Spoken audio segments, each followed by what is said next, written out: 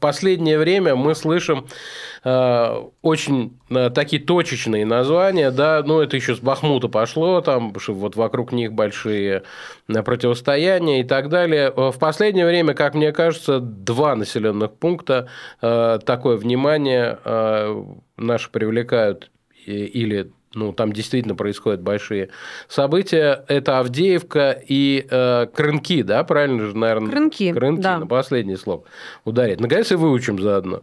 Авдеевка и Крынки. Э, что происходит там? По-моему, есть развитие, ну, вот в районе Крынки точно. А, что происходит? Э, давайте начнем с Крынков. Вот э, предыдущая у вас была, э, был сюжет э, по поводу, как я понимаю, по поводу этой любопытной вечеринки в Москве. Не знал, что вас заинтересует, Юрий. Юрий Евгеньевич, айда в следующий раз а вместе. не меня заинтересовало, это заинтересовало военных, э, военных корреспондентов. А, а ну я да. их, значит, значит, их прочитал. Ну, значит, Значит, теперь, вот теперь вы стопроцентно то- стопроцентно в курсе, в деталях в курсе того, что произошло. У них там прямо много. Ну, это да. Э, Там вече- ну, не, не о вечеринке речь, а речь о том, что э, некая, ну, это один из э, эпизодов вот того, что как, это, как на эту вечеринку отреагировали на фронте.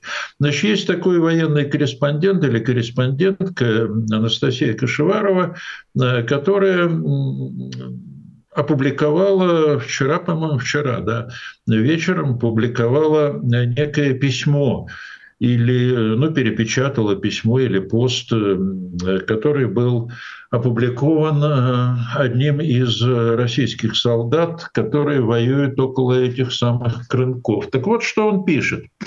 Он называется это, ну, не без э, определенных литературного, я бы сказал, даже такого почти таланта. Называется «Вечеринка у крынок». Или, ну, у крынок, так написано.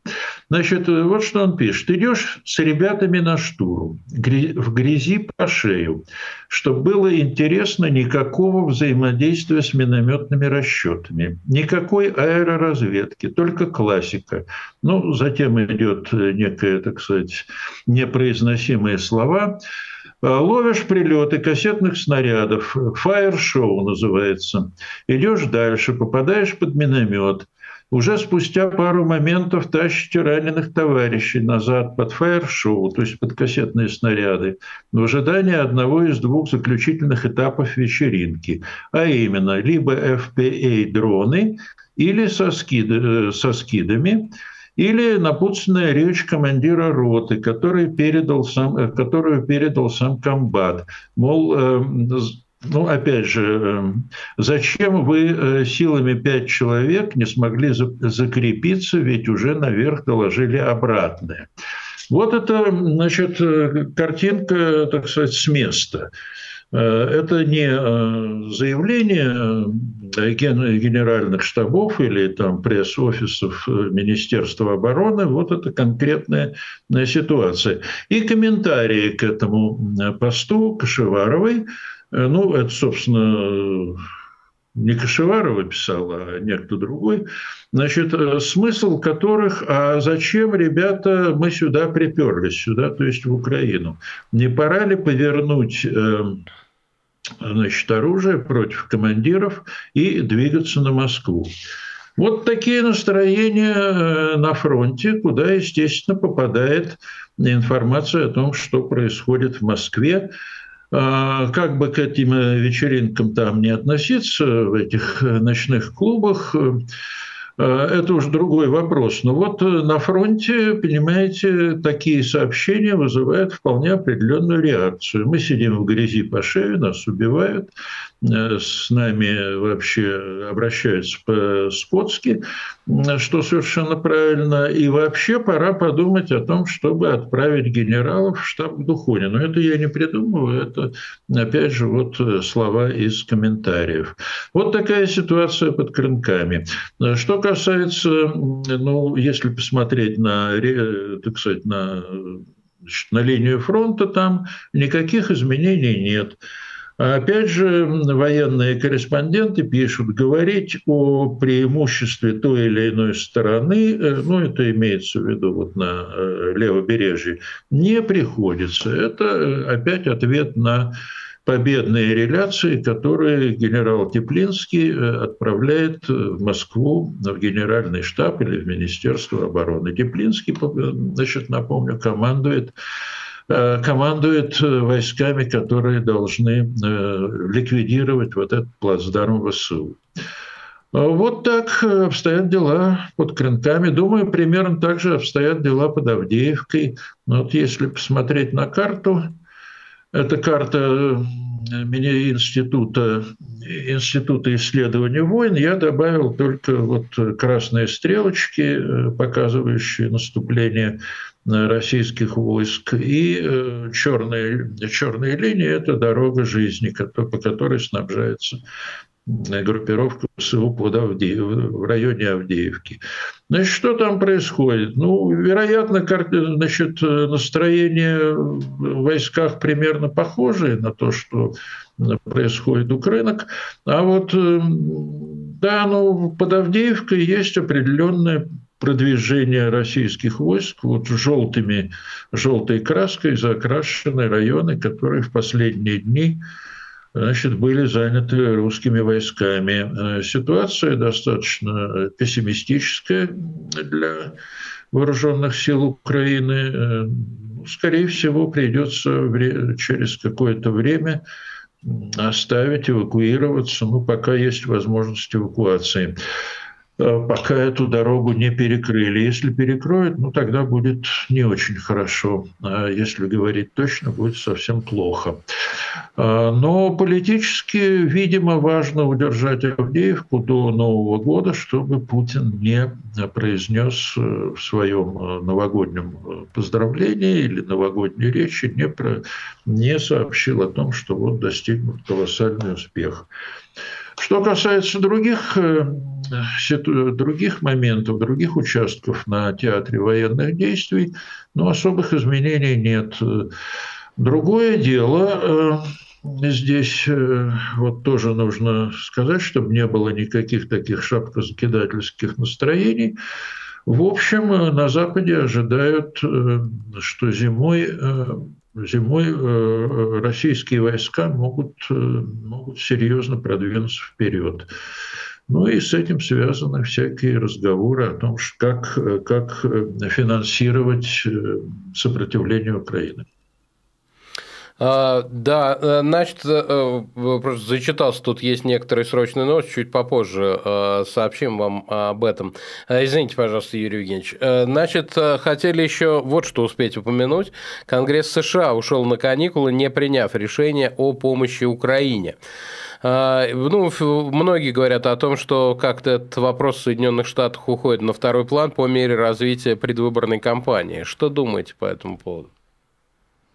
А, ну, что я могу думать? Действительно, э, и демократы, и республиканцы заняты, э, заняты тем, чтобы не проиграть, э, не проиграть выборы. Пока преимущество на стороне республиканцев, как я понимаю, у Трампа больше поддержки в этих самых колеблющихся штатах. Что происходит дальше? А дальше происходят интересные вещи. Вот всего вчера, точнее, Нью-Йорк Таймс публикует большую статью о том, что в Белом доме и в группе семи размышляют о том, чтобы конфисковать э, российские активы. И из этих активов, это значит, где-то около 300 миллиардов долларов, хотя там разные условия хранения этих э, ну, разные юридический статус этих денег и банковский статус этих денег, э, но тем не менее вот всерьез размышляют в рамках группы семи о том, что нужно и можно конфисковать эти деньги и направить и значит, из этих денег финансировать э, поддержку, военную поддержку Украины. Ну, не только военную, но и финансовую. 300 миллиардов – это приличные деньги. Это, в общем, может хватить на три года. А, есть э, сторонники, есть противники. Противники в Соединенных Штатах, как пишет Нью-Йорк Таймс, главным образом а, ну, ссылаются на юридические, юридическую неясность того, а как, собственно, можно, на какой основе можно конфисковать эти деньги, эти значит, вклады э, Российского Центрального банка. И если это произойдет, говорят противники, ну тогда, люди, э, тогда страны и государства, которые вообще хранят деньги в, американских, э, в американской банковской системе, тогда они значит, переведут эти деньги куда-то в другое место, на другие, в другие страны, где э, сохранность их будет гарантирована. Вот примерно такая логика. Значит, во-первых, нет юридических Э, инструментов для того, чтобы провести такое мероприятие. И, во-вторых, есть вот это политическое опасение. Тем не менее, э, да, эта статья в «Нью-Йорк Таймс» – это не первая статья, уже появились, э, была похожая очень по содержанию и по тональности статья Financial Times, что не менее, может быть, более важно, чем статья в «Нью-Йорк Таймс», потому что ну, Financial Times – это более, как я понимаю, в э, деловых и политических кругах Запада. Это газета, в общем, пожалуй, номер, э, номер один по, ну, по влиянию, по значению. Соответственно, такие размышления в, в руководстве западных стран имеют место. И это, в общем, э, ну, внушает определенный оптимизм, потому как если действительно не смогут э, демократы продавить, э, продавить помощь Украине и не, не, и не пойдут на уступки э, по миграционной политике, ну тогда, видимо, на Западе будут приняты меры по, может быть, по частичной, может быть, по полной конфискации вот этих вкладов. Ну, опять же, есть вопрос, а, а что дальше? Ну, хорошо, конфисковали. А что, их передавать Украине или создавать некую структуру международную, которая будет распоряжаться этими деньгами в интересах Украины и с участием Украины, естественно. А так что вот такой любопытный поворот, э, поворот событий. Да, было бы все любопытно и здорово, если бы э, это, конечно, не во время войны происходило бы.